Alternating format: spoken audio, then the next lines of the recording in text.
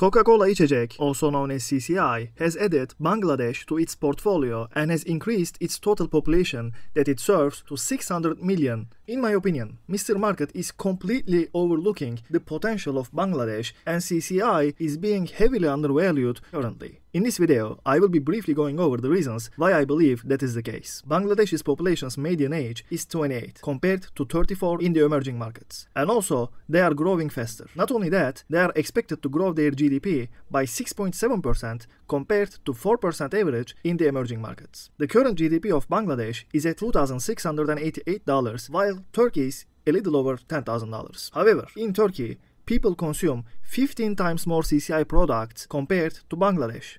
But an important point here is CCI just took over Bangladesh less than a year ago. So these numbers are the outcome of the previous bottler, which plays an important role. Looking at the previous success stories of CCI, like Uzbekistan, where they took over and quadrupled the earnings in such a short amount of time, it can be said that CCI is a high quality bottler that can bring far greater results than their competitors. But these things take time and Uzbekistan is a much smaller market compared to Bangladesh, and it will take a little more time for CCI to build the infrastructure necessary to increase the sales, such as coolers, logistics, and so forth. Keep in mind that CCI's home market, Turkey's population, is only at 85 million people, while not also growing as fast as Bangladesh and a four-year-older median age. However, the current market status of Turkey is much better with 5-digit GDP per capita and as I said earlier, a high amount of non-alcoholic ready-to-drink consumption compared to Bangladesh. So if CCI can write another success story similar to what they have done in Uzbekistan,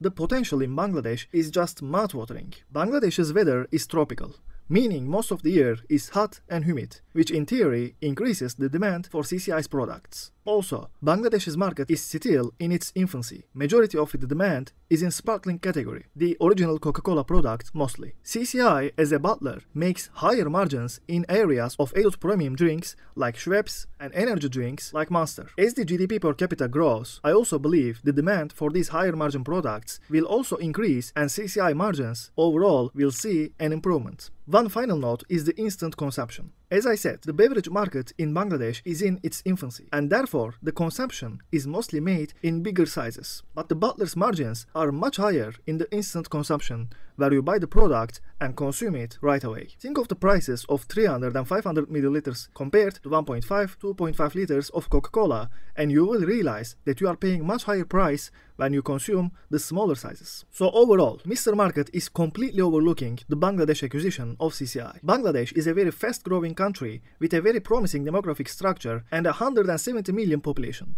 Not only that, but specifically, the non-alcoholic ready-to-drink market is almost untapped. A highly competent bottler like CCI can do wonders there, in my opinion, but they are still being valued at single-digit multiples.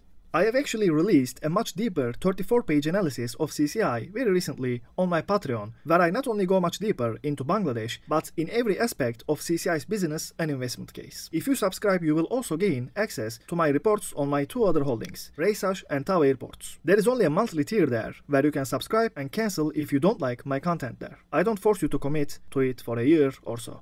I keep posting much more detailed analysis there, so if you'd like to try, the link is in the description. If you liked the video, please also consider to subscribe to my YouTube channel and also drop a like. Thank you so much for watching and I'll see you next time. Bye.